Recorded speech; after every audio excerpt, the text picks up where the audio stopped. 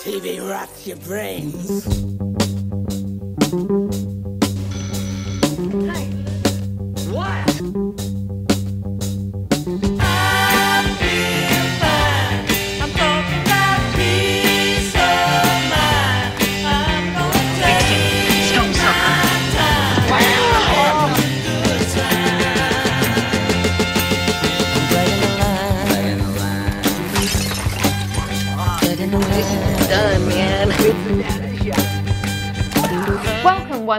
To today's episode of I say it like it's a daily thing, the web show. Coming into our 80s basement, chock packed full of nostalgic gems from decades gone by. Yes, 80s, 90s, maybe 70s, who knows? Maybe even 2000s when we get old. Uh, Um, today's episode, our guest, fabulous actor, you will all know him. We have loved all of his films, Adventures in Babysitting, which, which we were- watched again the other night. It was a classic. We I did. enjoyed it. I'm a bit of an Elizabeth Shue fan as well. Fox and Hound, Toy Soldiers, Life 101, recently in the Jay and Silent Bob reboot as well. Keith Coogan. Keith Coogan!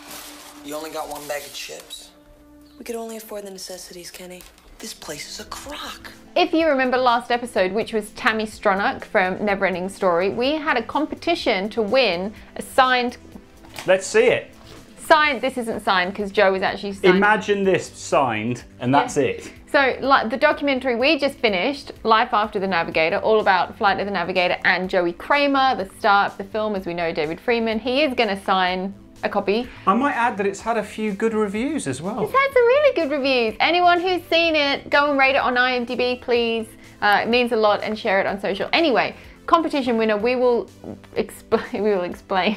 We will announce at the end of the episode. So Stay around. Don't go dashing off. Don't go skipping through. This is a great interview. We know you were going to hang around and watch the entire Keith episode anyway, but let's get straight into it. I feel like we've been dawdling a bit too much.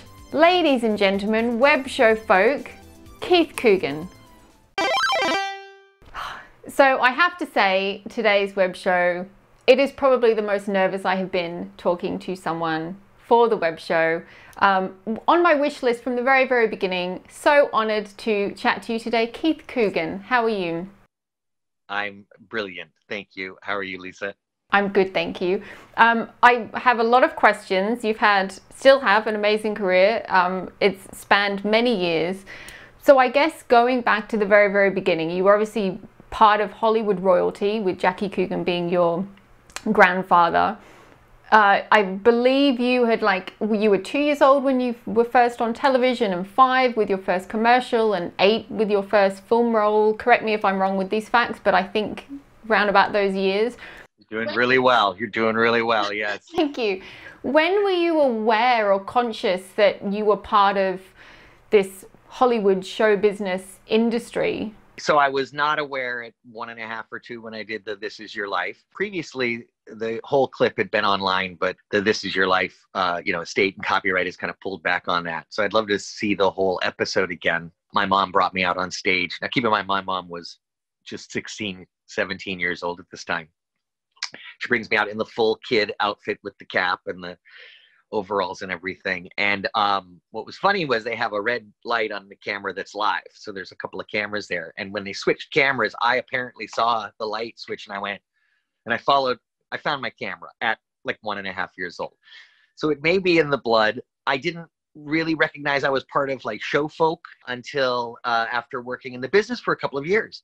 And then kind of getting it uh, uh, after having uh, already started and really in just commercials and some little TV roles. Then as I, I I'm turning six and maybe seven, then it starts to dawn on me what everyone's been talking about my grandfather. Because, you know, at that age, you're into the bright colors and McDonald's and these old black and white pictures hanging around the house and these stories they're telling. You're like, "Eh, everybody's grandpa tells wild stories.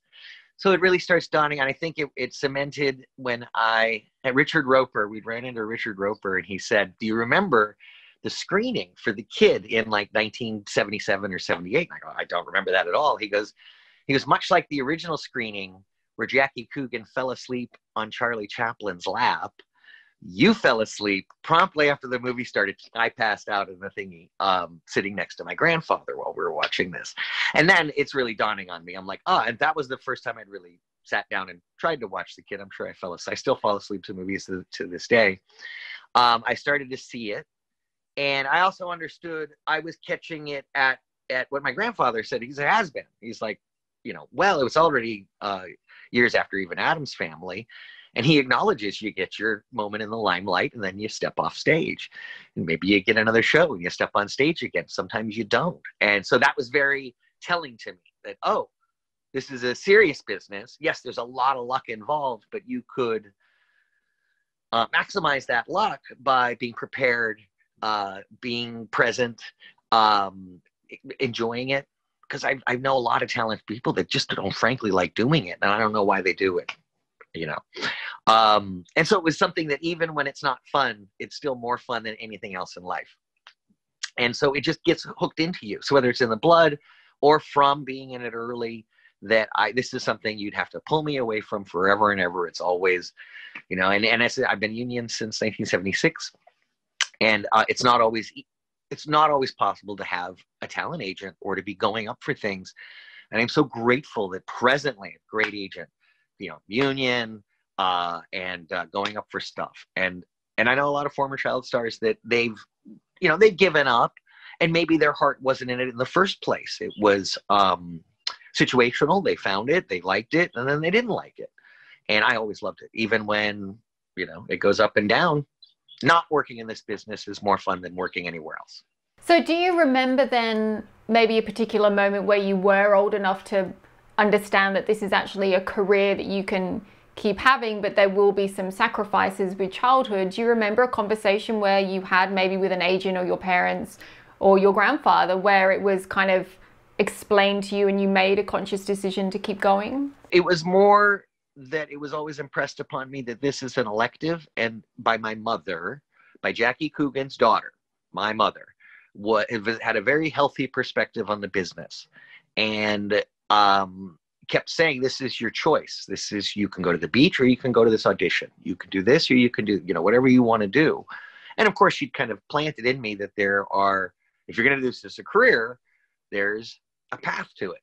It's being on top of every single call, every audition, doing great on all the jobs, following up, uh, sending gifts, letters, cards, thank you notes to casting directors. Those kinds of things are incredibly important. And then I didn't cultivate a networking skill because I kept working. As a child, I went from TV show to TV show to the commercials and stuff, and I kept pecking away at that feature film because in my family that was the big deal. I know my grandfather held the kid and his work with Chaplin high above Addams Family. Of course, Addams Family, he did a lot of television, and I'm sure he would agree that Addams Family for him was, you know, the most seen and the most recognized and acknowledged. And I think that his work with John Astin, they're pulling on old vaudeville bits. I'm sure he had a blast doing it. Just two quick years. I am the same age now at 50 that my grandfather was when he portrayed Uncle Fester on the adam Family. He was born in 1914, and that show ran 64 to 66. Um, so I uh, heard that Tim Burton, who by the way also was an animator on The Fox and the Hound, is doing a new TV sh- series version, and I'm sure it'll be dark and twisted and fun. And um, so I'm trying to get an online campaign to have Coogan return as Fester again. How amazing would that be? And how and how strange, I guess, for you to be have that connection now with him, and you have that point of reference. And I mean, Addams Family was so iconic. You know, it was a. Were you were you aware of how iconic those kind of shows were growing up? we we were aware which ones had ratings and which ones didn't. We were aware of which ones we watched and were our aesthetic and which ones weren't. Um, my family was pretty subversive. Uh, my mom was pretty counterculture and pretty like, what wall? I don't. Let's crawl over it. I don't see a wall, and um, I'm very kind of reticent and hesitant because of that. I kind of like to stand in line and just order number two and thank you. She's already my mom's already behind the counter and like open the cash register. And that kind of embarrassed me as a child. Um, so I've got some lessons to learn on being a little more aggressive as an adult. Um, the uh, so getting on shows that you loved like Love Boat or Fantasy Island, because the bar was so high with my grandfather, like I did a Fantasy Island Junior. And so I couldn't say I did a Fantasy Island. They would always ask for the addendum. Well, no, it was actually a Fantasy Island Junior. And that, so I got my first movie, and they go, well, it's not really uh, Fox and the Hound. It's animated. So I was eight when I started doing the voice, and it was released when I was 11 because they uh, Don Bluth had left production during halfway through doing Fox and the Hound, and Disney had to hire uh, new animators and retrain them and finish the film. Remarkable how many people worked on that. People consider it's the last of the classically animated films for Disney, and in the second round of that like Black Diamond label VHS, those big poofy clamshell ones, Fox and the Hound was included at the very tail end of it but still to my family, well, you haven't really done a movie yet. That was just animated. I'm a fox. My name's Todd. So I kept working at TV for, you know, five, six, seven more years. And my grandfather died in 84. And I changed my name for a year to Keith Mitchell Coogan on my headshots and, you know, the Academy Players book. Booked nothing. It was rough. Um, just going to school. I went to public school. Um, to answer the question of the other previous question is my mom always made sure I did public school, was in band, played little league, you know, went out and played in the ocean. We lived in um, very inexpensive, cheap places, bordering on probably not habitable, but in Malibu. So in like 1975, my mom saw an ad for a place in the Valley, which is cheaper and hotter and, and grungier than Malibu. I know of the Valley from Clueless. That was my introduction to the Valley. The Valley from Clueless and um, and Valley Girl. Oh, absolutely. There's a great series uh, that was on for a season called It's Like You Know. And uh, they're going to venture into the valley on the show. And one of the characters actually wears like a pith helmet. And we're going to the valley. Um, so it was like $250 for you know one bedroom there and then it was 250 for a um, tennis change room so it was basically a room you know with a bathroom and no appliances or anything like that. And um, she said well let's live in malibu. So i lived i grew up in malibu the poor part of malibu. Malibu is malibu. Since the end game was to do movies my family uh, was under the understanding that you don't want to get caught on tv you're a mercenary you go in and you do guest episodes but you don't get entrenched in a contract. And then then god forbid it becomes popular and now you're fonzie and now you're richie cunningham and you'll never be a star again in anything outside of that original tv show my grandfather had tasted with uncle fester he, you know after that he always played kooks and quirks and heavies and and um so we didn't want to get caught in a series i did a couple pilots and they went short things uh, until the Waltons, which I did a year on the Waltons. It was in its eighth season, so its ratings had kind of come down a little bit. You know, America wasn't quite ready to let go of one of the remaining wholesome shows on TV. I had a great time doing it. Uh, added a little sass to the show because um, I was a uh, I was a really rotten kid on the Waltons. I'll watch them to these days, and I sass off to everybody on the show and um, so proud of that. We we kept making money and doing well, and um, eventually bought a house in Malibu. So, and I'm ten at this point. So, um, yeah, continuing doing that and going to you know school and junior high and growing up just like any other kid, and then uh, I finally changed my name to Keith Coogan, and um, that's when it was really movies or bust.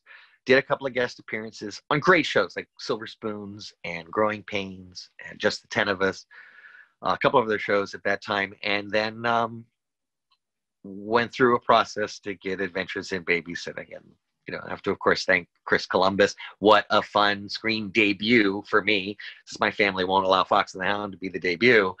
Um, although Elizabeth Shue was a fantastic lead, it is an ensemble project, and so you know the weight's not on my shoulders i'm sharing it with so many great other people but um, i often get um, so much credit you know and it's not just mine. It's chris columbus's and Lynda Obst and Debra Hill and uh, David Simkins and the entire cast. Everybody i watched this go down. I was 16 I turned 17 on the set and already had had a decade of experience in the business um, or a dozen years of experience in the business. So i was able to kind of see how this set compared to all the sets I'd been on, and um, it was magical. Chris Columbus, that was his directorial debut. I mean, he had written scripts, but that was his directorial debut. So was it strange to have been 16 turning 17 with 10 years experience on sets and this director it's his kind of first time on set was that a strange dynamic I know you said he'd written some scripts. If you want to call Goonies, Gremlins, and Young Sherlock Holmes, now I know he'll even abandon Reckless. He's like, I didn't really write that, but he did. His name's on it, but he's like, I didn't really write that. It's funny. We pointed at a picture of Reckless in some production office when we were making Adventures of Babysitting, and he's like, he just kind of smacked his head. He's like, I didn't. mm, I did write a script for that. He's like, that wa- wasn't on screen. Uh, Chris was wonderful because it was so collaborative and I had no problem on a set going, "You're on the wrong line of the eye line. You should be over there." Like I could tell the cameraman to move a little bit, and they go, "Oh, you're right, shit," you know, because they're tired. Everyone's, you know, can kind of help out a little bit, and there's that trust that kind of builds up. So if a 16 year old kid goes, "Hey, you should do like a Spielberg movie," and you can use shortcuts because everyone's seen the same movies. Um, Chris Columbus gave us three movies to watch, of course, on VHS: Arsenic and Old Lace, A Day at the Races, and After Hours by Scorsese with Griffin Dunne.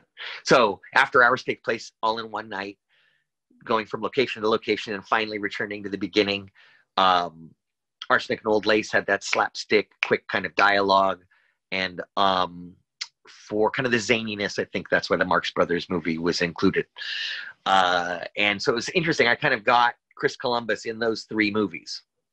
I understood him, and and I also knew that you know he'd written things like Phoebe Cates's monologue in Gremlins. So there's a darkness there in Chris. There he's not afraid to kind of, you know, it's not all bubblegum and fluff. There is a sinisterness, you know, he acknowledges it in a fun way that kids aren't too freaked out about. They can watch it and enjoy it. The only thing about Adventures of Babysitting is the language pushes the are in the states PG thirteen uh, to the limit. I don't know how they got away with it. It really does because when you rewatch it as an adult, you're more conscious of the language, and it's something that kind of surprises you and takes takes you back a little bit. yeah, there's a few films of the 80s that were made in a time where it was okay to say things even if a bad guy is saying them it you know you have to be really careful with that and i don't think that there was any caution to be careful because it was so culturally accepted to uh, say a lot of these things i don't regret it i know that um, the writer may have a little hesitancy on a, a line or two but um, I've also seen people embrace it. So it's you know it's personal kind of opinion, and that's what happens when you use dialogue that's kind of on the edge. But I think that's what kids, their parents are like, yeah, go see the babysitter movie, and the parents are off watching Inner Space in another theater, and the, the kids are like, they're letting us. Oh my god, all the nasty words that came out, and then they felt that it was kind of dangerous, you know. Um, it there was an adultness to it that, maybe they didn't understand. There's a few jokes that might go over people's heads, you know, especially if you're younger. Her legs are locked together at the knees. What does that mean? I don't know what that means when I'm eight.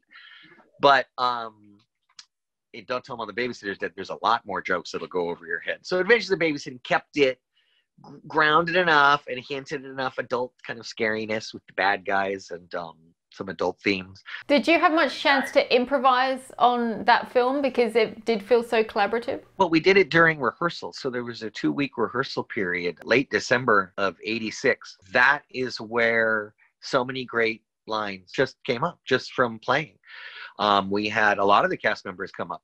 We wanted to make it semi believable, as ridiculous as some of the, you know, we didn't want it to feel contrived anywhere.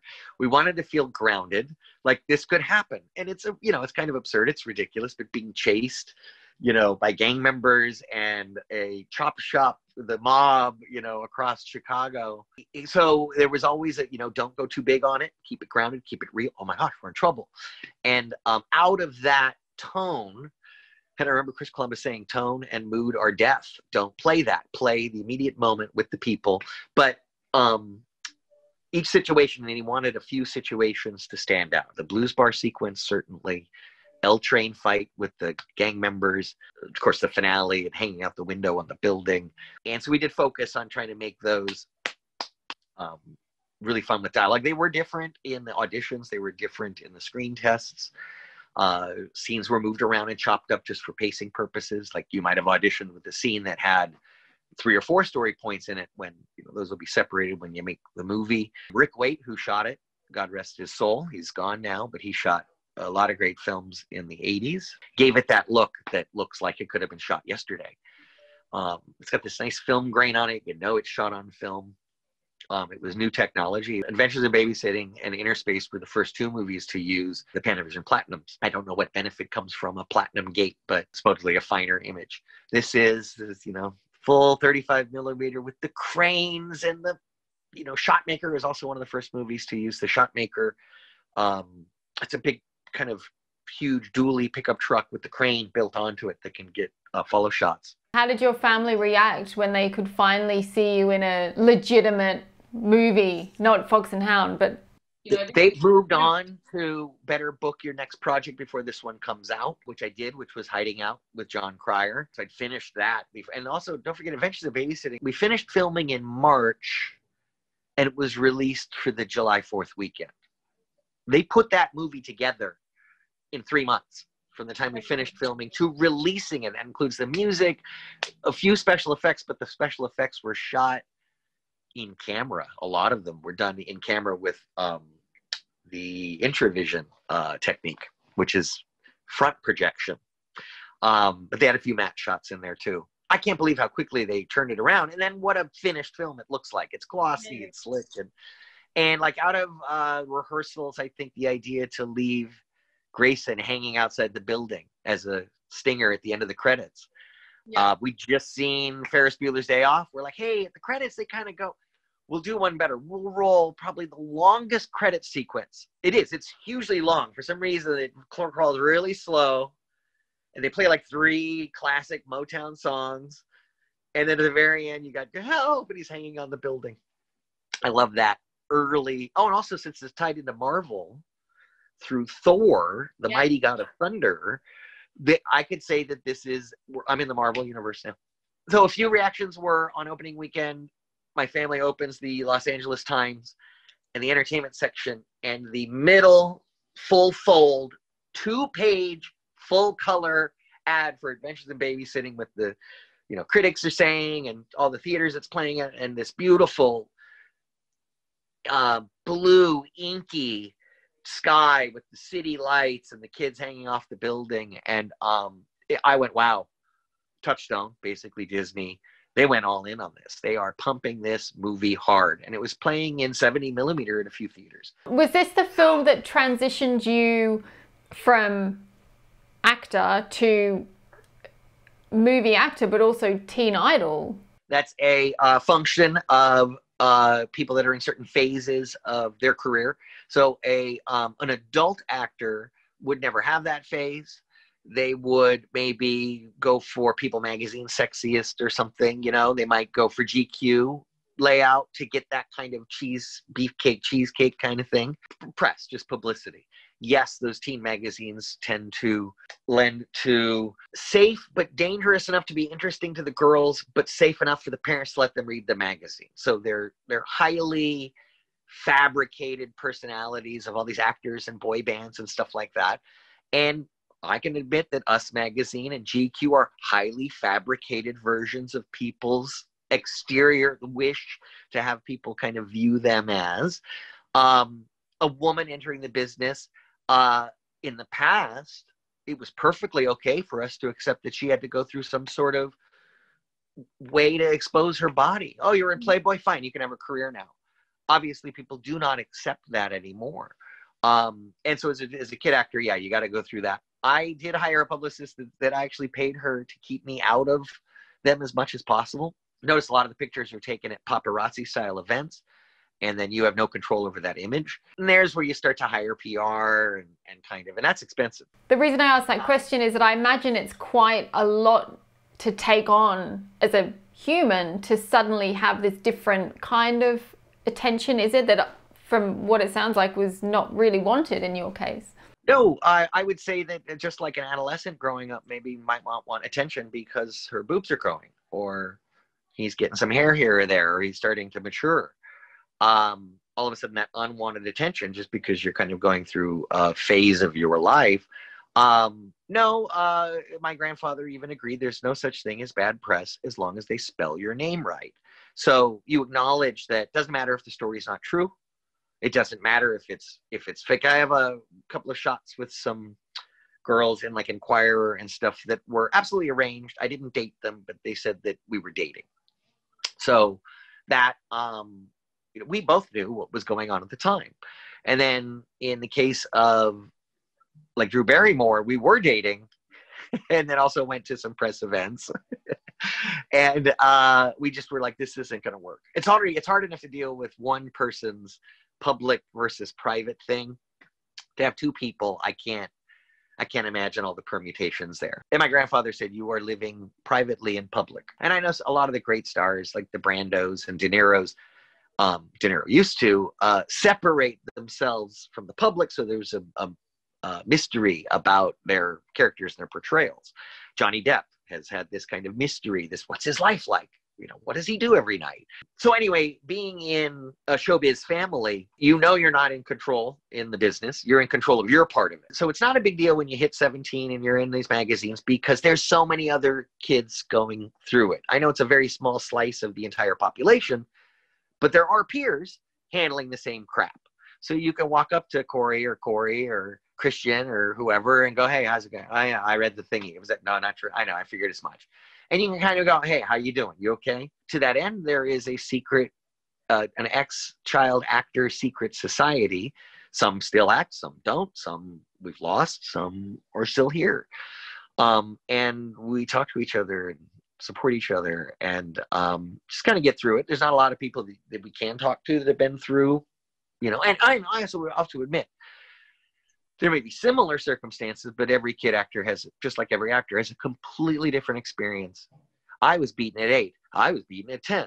I, you know, everyone you were beaten at different times in your life. Then that's going to, I'm just kidding, that's going to affect you developmentally different. So just entering at a different year of your development, entering the business, you know, so no child actor has the exact same experience, but there's similar enough things that are different from the norm that people don't and people have a lot of questions about and go what's it like? that we um, it's nice to have that group. Well that was actually going to be one of my questions was it is this stigma of child actors moving into adulthood whether or not they're moving into adulthood on the screen or not. It doesn't always seem like a very smooth transition but you seem to from a, an outsider point of view seem to have a relatively easy transition. Was that because you had a really rock solid family and knowledge of the entertainment industry from your family that could help with that? Ha! It's because I'm a really good actor. Um, it's because uh, that is the job. The job is that as soon as you finish working on a project, you're unemployed and you just don't know how long that's going to last. So my thing is whether people see it or not, whether it's on YouTube or Netflix or straight to oh my god, I had something come out straight to theaters. That's going to bomb. Uh, I'm just kidding. Uh, that it's work and you meet people and you find people that maybe that turns into something later. I have people that I met I don't know 10 years ago now on a whim and worked with and they're deeply entrenched in my lives as personal friends and uh, co-conspirators in this business. And I'm also kind of wising up. It took me a while, as I'm 50 now, but and I'm also very pro-union. This uh, SAG-AFTRA is that a lot of actors have to make their own stuff and produce their own material and make a pilot and sell it. And so that kind of that stage of really smacking in my face of like, oh yeah, I, I have to bootstrap this. Um, but still continue to read for you know network TV shows and films and stuff. And um, uh, yeah, I, I'm very passionate about doing it. I love it. And lucky enough just to get enough work to keep egging me on. Now, you touched on, I mean, so many things you say I have so many questions about, but you touched on Don't Tell Mum the Babysitter's Dead, which for me is the ultimate film. I adore it. I think it's brilliant. I think it's flawless. I think you're brilliant in it. How did that all come about? What was that like filming? I bet everyone asked you to say the dishes line. I'm sure I won't ask you to say it, but how was that whole experience? Oh gosh, um, where do I start? So Adventures of Babysitting was Disney.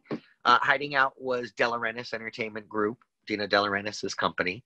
Um, then I did a New World picture. We did Under the Boardwalk, which was a surf surfing film. Cousins for Paramount, Cheetah for Disney. So I've like bounced around a couple of studios, and then this Warner Brothers picture comes up. It's called The Real World at the time. I'm auditioning for Brian the Clown Dog Boy. I read the script, and I just love Kenny. Now, keep in mind, I'm 20. The character's 15. So my agent uh, at the time said, um, "Now that's you're not even appropriate for it. You're going out for Brian." So fine. So I uh, had made really good friends with Chris Young, who, and this is prior to us filming Book of Love. Chris Young and I were dear friends before we both got the leads in Book of Love, and maybe that relationship had something to do with our chemistry when we read for Book of Love. So uh, I prepared with Chris, and we were already shooting music videos that were like cooking with Doug and Bob and Dave or something, and it was two stoner heavy metal guys trying to like cook toast. And so it was weird that a few weeks after we'd done a few of these sketches, I get this script, and I'm like, "Well, this fell into my lap. I got to go for the Kenny. I got to do it." So we'd had, I'd had some clothes that I'd used in the music videos with Chris. We'd gone to Burbank Hair and Makeup to get long rocker wigs, and they looked like crap. So we just would throw a baseball cap over them, uh, Sebastian Bach style. And I prepped that and left all that stuff in the car when I went in and read for Brian, the clown dog boy. I finished reading for that, and then I asked the casting director if I could come back and show her something. She goes, Yeah, sure, Keith. I go, Cool, I'll be back in a little bit. So I go down to the car and I change into the clothes. And by this time, they've changed over casting to see all of the heavy metal guys. Actually, they just read for Kenny, and whoever doesn't get Kenny will then be Hellhound or Lizard or whatever. So um, I walk in and I see two of my friends right off the bat. What are you guys doing? We're reading for Kenny. The casting director is ready for me. She, I don't even sign in. I've already signed in for the other role. So she goes, "All right, well, come on, come on in." So I walk right past them, and they're all really have the long hair and smell like patchouli. Love you guys. Um, and I'm considered a nerd and pretty straight in Hollywood. So it was very weird for me to go up for this role. I kick in the door with the wig. Who's in charge here? totally did it. I don't even remember it. I blacked out a lot on auditions, and um, those are the ones I usually book. After I don't remember, I'll call my agent. I don't know what happened. I blacked out, and they'll go, "Well, you booked it." So I kind of blacked out, and the, I do remember at the end, she she says, "Go ahead and take off your hat and your wig," and I took it off, and the producers, they were they because they didn't recognize me from 15 minutes ago, and um, I I got it, I got it, and and then they spent three thousand dollars a piece on two hand laced wigs. There's an A wig that looks really good in close ups, and then a B wig when you're cleaning the A wig, and maybe it's a wider shot. And as I'm getting my life cast done for these hair pieces in Burbank at Wigs by Ziggy, some legendary old school Hollywood who's retiring, right? I see a picture of my grandfather on the wall. Uh, why is there a picture of Jackie? He goes, Oh, uh, in the 60s, his PR people wanted him to have a toupee for appearances. So I made your grandfather's toupees. So I'm in hair and makeup an hour before Christine is even at set because I have this wig to put on. And Christine has come in, go like this, and she's on set and looks beautiful. I'd come in, then Joanna Cassidy would come in and she'd get her wig on, and then Christina would come in and basically walk onto set. 100% prepared. She's been there later than anybody else. She was shooting stuff late at night. We'd come in the next morning and Christina would show up, go right in, do it, just carry the movie. She's in every single damn scene. Uh, much respect to both Christina Applegate and Elizabeth Shue. Um, I'm feeling if I do a third babysitter movie, it's going to have to have another strong female lead. Maybe that's your, you can be your lockdown project to write the script. I think we need it. So here we have Stephen Herek, who is not a first time director, as he had directed Bill and Ted's Excellent Adventure, using the same cameraman, Tim Suhrstedt, as Bill and Ted's Excellent Adventure. So immediately half of Kenny is Bill and Ted. It's the, if we didn't outright show him smoking weed. You could say he's just kind of this, you know, guy or he's a head rocker, stoner type. But we show them smoking bongs and talking about weed and carrying weed and, you know, dropping his weed. Can't make it up half a flight of steps without running out of breath. Thank you, Stephen, for letting me put that gag in the movie. I appreciate it. So here comes the trust here because everybody, you've got a director that's got five kids. Three of them are truly kids and in school on set. Me and Christina were already adults. You've got a set building for all of the GAW sequences, whereas a set in the Valley um, and or Burbank. And then, um, and that was just built in a little warehouse. that wasn't even like a movie where movie uh, soundstage. A lot of uh, location shooting around LA to make it, you know, really feel like LA and Santa Monica and uh, Melrose District and Hollywood. And then we got to the house and we spent two months finishing the movie at the house because a lot, so much of the movie takes place in the house. It was summer camp for adults. Everybody had a great time working on that. Everybody did their best work. All the clown dog stuff, the art department stuff, the ward, the costumes, everybody. And everybody got their stuff highlighted, I think, focus, props and the food and all that stuff. Um, almost nothing was cut. Maybe one scene when Melissa finds the pool we find we discover we have a pool because it's so crappy in the backyard. We're like, we have a pool, and immediately Danielle Harris goes, "Cool!" and jumps in, and it comes up with like swamp moss, and she's like, "Creature in the Black Lagoon." They cut that sequence. Other than that, everything we shot is basically in the movie. And you know, you asked me about Adventures in Babysitting, about like how you felt when you did it and after, and um, I had to wait a little bit because after Don't Tell Mom the Babysitter's Dead. By the way, they changed the name of the movie while we were filming it. Because of MTV and the real world, the reality show, there was some something happened and uh, they pulled 13 year old boys and they told us the new name of your movie is Don't Tell Mom the Babysitter's Dead. We all died. We went, that's ridiculous. Oh my God, that's impossible. You can't. That's absurd. That's absolutely absurd we're making this serious movie like Working Girl or Secret of My Success, you know, and they go pull this title on us. And it, it follows through on every promise that the writers made to themselves when they wrote the script. They wanted to set up the babysitter killer about a half an hour into the movie, move on to other plots, and never mention her until the last line of the movie. Hey, where's the baby? What happened to the babysitter? They're like, you can change anything else in the script, just keep this gag, and they got it. And um, like, and they wrote every word together. No one, the two writers, they didn't write a scene and then co-show it to them. They wrote every bit of dialogue together. And I think that's why there's five great lines on every page. That movie can be quoted any moment of any any scene in that movie and it's got amazing dialogue. I'm right on top of that rose. This is done man. I'm right on top of that rose. You talk about these films and i know we've talked about a handful of all the films you've done but when you're on set you have this close-knit relationship and it seems that it's such a strong family unit do you still have contact with certain cast and crew from maybe one particular film or a handful of films that it was so important to you at the time that you've just kept in contact? It's funny. Ironically, uh, George Perez, we're wrapping Toy Soldiers. George Perez says, uh, "Hey, you know, be cool after we get back to LA. You know, we'll like hang out and stuff." And I and I and, I, and I've said this before in other movies to people. I said, "No, we won't." Right? And he was taken aback because, "What do you mean?" Because I'm like so involved in productions when I get there that when it's over, people are kind of surprised, and I'm like, well, we're done with the job. And and I said, well, we're all going to move on to other things, and you're going to get a show, and I'm going to get a movie, and you're going to do the thing, and we're not really going to be able to hang out like you think. And ironically, he's one of the cast members I've seen the most since doing Toy Soldiers. I'm dear friends with Wil. I wish I was closer with T.E. Russell, who I wasn't even really that close on the set, but Giles and Snuffy were roommates, but they argued. I don't know. There's something, and T, I love you, buddy, and your work was amazing in the movie. You know, all five of the main kids had were at different points in their career and got something out of it or didn't or have a different feeling about it. None of these movies are trying to solve cancer. They're not trying to change the world. They're fun, popcorn. Don't tell mom the babysitter is having an adventure with Sikorsky helicopters and toy soldiers, and it's fun. They're just movies. So, um, what a fun movie to do. All of a sudden, I'm introduced to the Petries Daniel Petrie, Dan Petrie, Donald Petrie, who directed every movie since the beginning of mankind um, that we like. Dan Petrie Jr. had written Beverly Hills Cop and The Big Easy, and I mean, he's Turner and Hooch.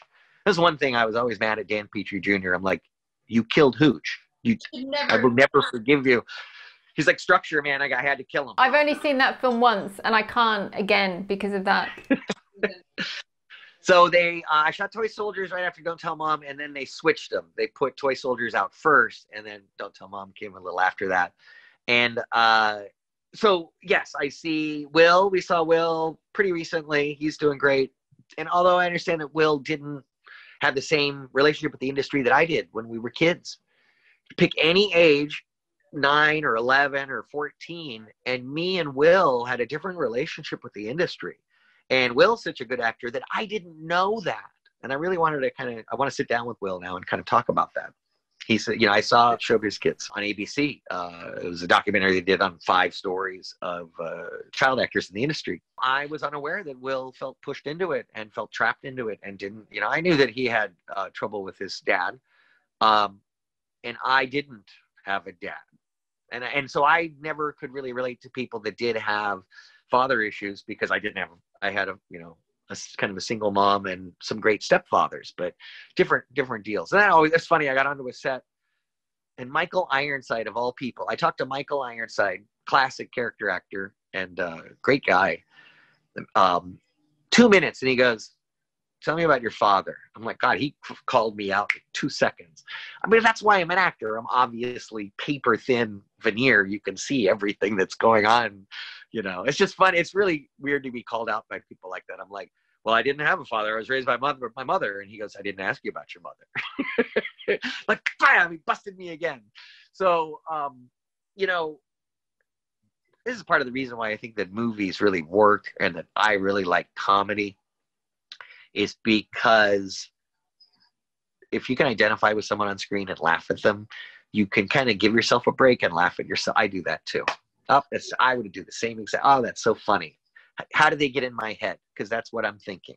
Well, the thing is, you said that you know movies they're not here to cure cancer, but to a lot of people, movies are that important. When you grow up, it might be getting you through high school, or getting you through bullying, or accepting yourself. So they're they're so important for kids watching them the other side of the screen. Well, there's also movies that can be transformative to see something like Pink Floyd's The Wall at the right age, or to see Schindler's List at the right age and get it.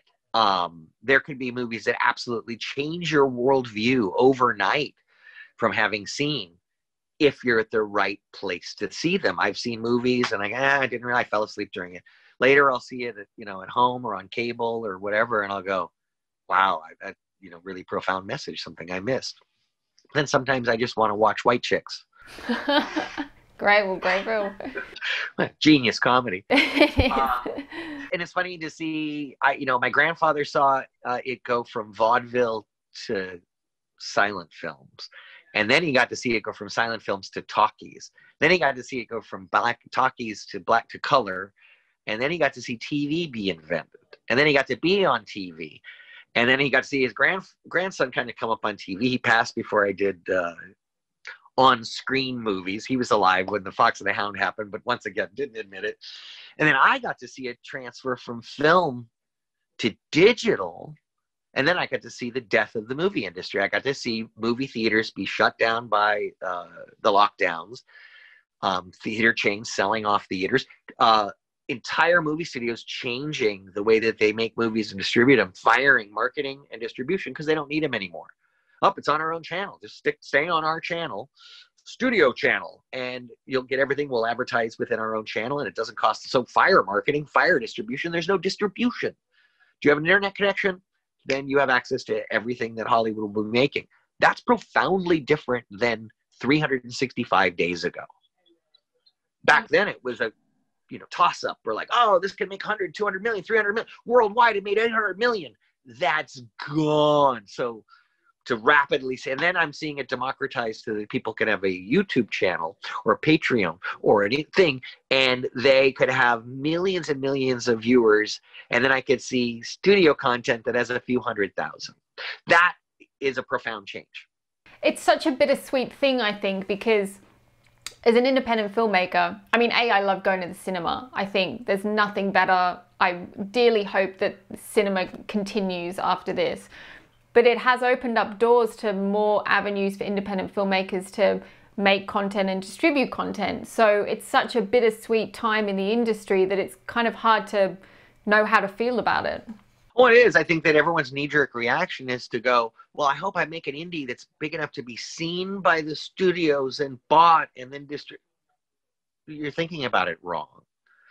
Um, put the the movie studios are going, I hope they don't make something good enough to compete with us. And as soon as they do, buy it, buy it overnight, buy it at Sundance, buy that thing, get it under a studio banner. Because I know someone who didn't and his name is Kevin Smith. And you know, being in reboot, which I have to thank Kevin again for letting me be part of the View Askew universe. I saw this man release a picture from the trunk of his car, and he took it city to city and made the Gap money back in record time. Actually, most of the time, Gap money isn't paid back to investors. So, you know, within a year of taking the Gap money, he gave it back to investors. That's pretty much never been done. And then you see the DVD and Blu-ray release, and you know, it's on Amazon Prime, and um, that uh, the work he did for it, though, which he'd set up by doing speaking tours before. Remember, music acts have said that they don't make money off of their albums anymore. And they make it off, off of touring. They make 200 grand a night or 500 or a million a night touring and selling merch, t-shirts and stuff at the concerts. That's how they, now that's gone. What? So I think Kevin Smith followed the concert model sold T-shirts at every show, kept it to one city, one city a night. Move on. One, yes, he had a broad national release. I think made a couple of mil on a night, and then went city to city focused, and that was um, that was amazing to watch. You know, true maverick. Put, putting your money where your mouth is and, and kind of pushing it in that way and believing in that distribution model and method um, uh, that's pretty amazing so i think we will see more of that Blumhouse You're familiar with Blumhouse's model. They no longer do billboards, they don't do TV ads. What they do is highly targeted Facebook ads. They find people that have bought and love horror and they'll intergenre. They go, actually, they like bottom, body modification horror. So we have a new body modification horror thriller. What we'll do is instead of mass marketing the country at millions of dollars, we're going to target these thousands of users that we need to buy it. And once they do, and then they go, of course, of course I'm on. They're like, God damn you, I'm in. Boom, they do it. Their core, um, your core fan base are completely taken care of. You've made your productions. Blumhouse's model is make it cheap, target your marketing, rinse and repeat, do five a year. Um, and so they're, I think they're the ones to look to to adapt to the new normal. And Lynda Obst is one of the people that's even known for coining the phrase there's no normal. There's no new normal. There's never been a normal. Hollywood has always been a i don't know that's a great story. Make it. Sometimes it flops.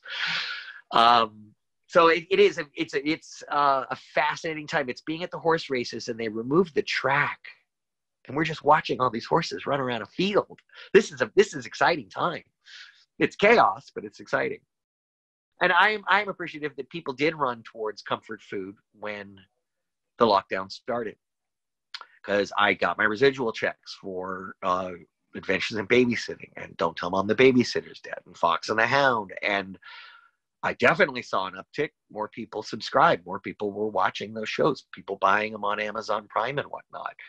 Um, and I did the same thing too. I turned to Weird Science and, and Breakfast Club and The Stuntman and Hooper and Smokey and the Bandit and Jaws and Raiders because that took me back to being eight years old or 12 years old when the world made freaking sense. It's weird being sandwiched and because I'm a fanboy. I got to talk to Lance Henriksen and I just blah, blah, blah, how do you talk to Lance Henriksen and not go near dark, near dark, near oh my god, you know, and just drool over somebody? I've made a fool of myself, you know, throwing myself at people's feet, and they're like, I don't deserve it, kid.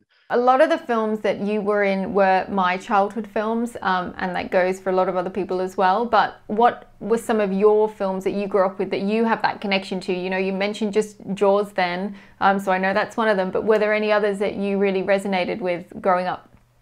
Most kids, maybe, you know, uh, syndicated show comes on. It's Saturday. We have like Channel Five in LA. That's like they just play old movies, and um, you know, most kids can enjoy an older movie, a musical or something. You know, I, I knew who these people were. They're my grandparents' friends, and so there was a different relationship to this stuff growing up. My mother um, was very young mother, and so uh, she couldn't really afford daycare. So when she had a job as an usher at a movie theater, she would plop me in the front row. I was a very quiet kid to watch A Clockwork Orange and The Sting and The Exorcist, French Connection, Serpico, Dog Day Afternoon. So movies, uh, well-made movies, uh, Kubrick films and Coppola films, and especially the 70s, Mavericks, the ones that kind of buck the studio system, the Ciminos, the De Palmas, the Scorseses, Spielbergs, Lucases, John Milius. John Milius, I'm going to throw some Milius in there. Roger Corman. Um, th- those I love that. That's why I'm so glad you. Sam. Sam is we love Sam. Sam Jones. Now we've been doing autograph conventions. Sam is a staple, and Sam has it all figured out. Huge backdrop, Flash Gordon stuff, great artwork. Talks to everybody, gives you really good Sam time, right? And will uh, sell you the shirt off your back. He's amazing. He also shows up early, stays late, never misses a you know commitment. Um, he just showed us a work ethic to appreciate the fans back that I'd never seen before. I, and Ted and you know Ted too and stuff. That that kind of acknowledgement. That's what I think happened with um, Jay and Silent Bob reboot. A filmmaker said, "I want to acknowledge this older work," you know, and I I mean that's just that's just really amazing. He, that's what Kevin said. He goes, you know, before I started making movies, I watched a lot of movies. So anyone who was kind of in it, doing it before he'd started, um, you know, I totally get it. So, so growing up and also having neighbors that are Oscar nominated, like Gary Busey was one of my neighbors growing up, and I was really good friends with his son Jake. And it's just, yeah, my grandfather was the world's first child star. His dad just got an Oscar nomination a year or two ago, and and it's like, where you want to go down to the creek and play, you know? So it normalizes itself that kind of like, oh, it was only an animated movie. People in show business, we bust our own chops. We'll, we'll be, hey, how long has it been since you've done a studio picture? And we'll bust our own chops. Um, my grandfather had a saying, it's better to be a has been than a never was. And it's bitter and mean. And if someone goes, oh, when was the last time you did a movie? My grandfather would say, when was the last time you did a movie? very defensive. And I'm like, I'm just grateful to have done any of them. And I like how you said you've been in or you still are. You corrected yourself. And I thank you for that. And I'm also not one to mind if someone goes, You had a great career. I did. I'm still still at it. And hopefully we'll do a movie. And if I don't, it's okay. Because I know on my tombstone will be Keith Coogan, the dishes are done, man. and but but I have maybe some more years. I'm just 50. Maybe I could come up with another quote something. You never know. If it doesn't happen, at least I got that. So I'm very, very fine with that. Obviously, 2020 has been a year where everything's kind of gone out the window, but do you have any plans next year that people can come and meet you, um, UK, US, state wise, that people can come and say hi in person? Every single show has been postponed, delayed. We have several, and they've been pushed, postponed, delayed. So um, I know it's not up to them. We did just book a few more and sign some contracts. The day after signing a contract, something got moved. So I don't, I can't say what dates are set or not, but I do know that they're trying to line up. Thank you so much for chatting. It has been an absolute pleasure. Uh, fingers crossed 2021 picks up and I can meet you in person at a Comic Con. Adam Gradwell, Steve, Scene Stealers, get on it. Um, really appreciate you taking the time and it has just been an absolute joy and very surreal to talk to you. So thank you. Lisa, you're awesome, and you, you you stood up to your bargain. You you said there'd be questions that are a little bit different, and they were great. You had great research, very in depth. I appreciate that, and uh, thank you. It was a great interview. Competition time. This bad boy. Imagine it signed. Again, imagine it signed. So we asked you in the last episode, which was Tami Stronach. I'll put a card. The lovely Tami Stronach, we might add. I, very lovely. Um, make sure you go and watch it if you haven't watched it. But uh, I asked you to say what your favourite scene in Flight of the Navigator was. Hmm. Um, and we have a winner. What, who is the winner? The winner is Drum roll, please. Mike Shirley. Mike Shirley, this is coming your way. So Mike, I'm going to read out the full answer from, I took a photo of it because I don't have my computer here. So Mike says, my favorite scene in Flight of the Navigator has to be the scene where David first encounters the spaceship. I was mesmerized as a child how they did the effect where David walks up the steps. Weren't we all? We know how it was done now as well. Of course, it was animated. Well, if you don't know how it was done, watch the film. Yeah. Uh, of course, it was animated when the steps first formed, but it was so clever back then with the real perspective camera trickery how David began to walk up the steps and was real. Very good. One of my favourite scenes as well, to be honest. I think everybody loved that, him walking up the steps and then bouncing a bit as a Push and you're like, what? Yeah, yeah. Uh, Watch the film. You'll learn how they did it. email info at lifeaftermovies.com to send me your address and I will, when the signed copy arrives, get it to you. It'll be hurtling towards you, like like Star Wars, the thing coming out towards Um, you. thank you all so much for watching. Thank you again for Keith Coogan. All of his social media links are down below, as are ours. So please follow everyone. Let's just end 2020 on a social media Storm. storm. Until next episode, you stay classy.